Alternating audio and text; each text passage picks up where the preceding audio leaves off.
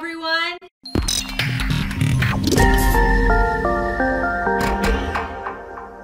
Welcome to my art studio! Wait a minute. Aren't you in your kitchen? Kitchen?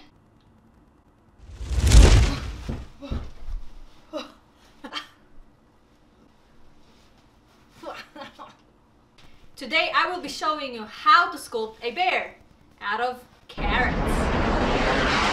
Have here is, is an X-Acto knife, vegetable peeler, knife for cutting, and I got some several tools here, sculpting tools that I think I might use, and I made sure these are sterilized. And of course, carrots. Are you guys ready? Okay, I'm gonna go ahead and peel the carrots. I only chose few carrots at this time because I really don't know how much I need to use.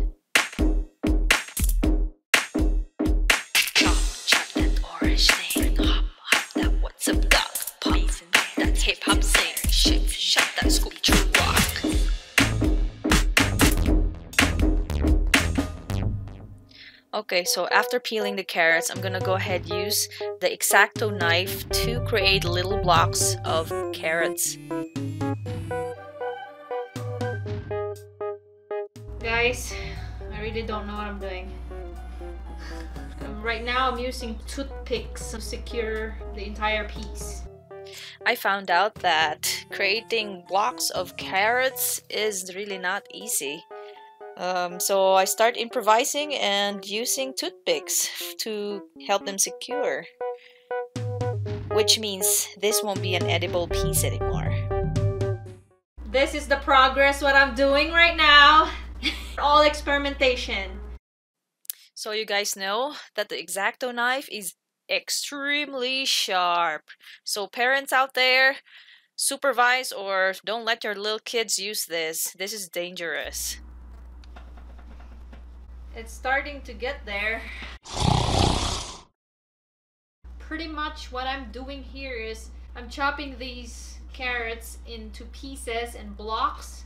At first, I was thinking of making blocks like Lego and then just put them all together, but it's not easy at all. So far, so good. Don't give up, don't give up! You can do this, Joan! It's falling apart. Ah! Oh, I forgot I forgot something. I forgot to introduce the beet. This is for the head.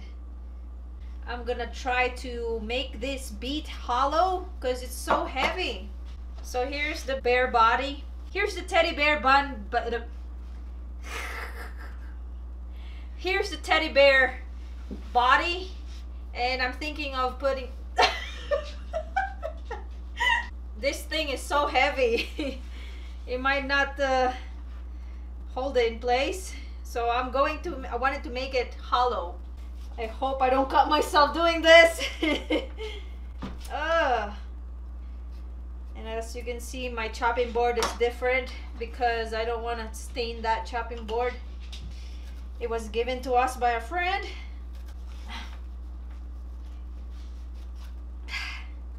This is impossible. This is not looking like a bear. It looks like it looks like a little boy. If I put the ear, does it look like a bear now? All right, our little sculpture is starting to shape up. This is tiring.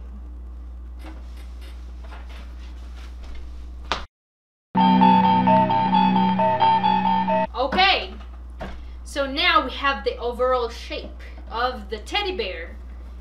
What do you guys think? Is it cute? So my next thing to do is to make the teddy bear smooth.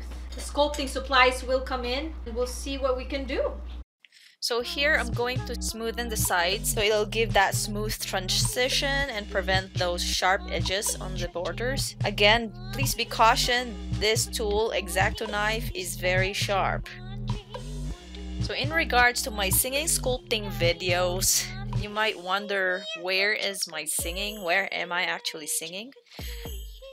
The music that I'm actually using in these videos are created by me. I'm singing in those music.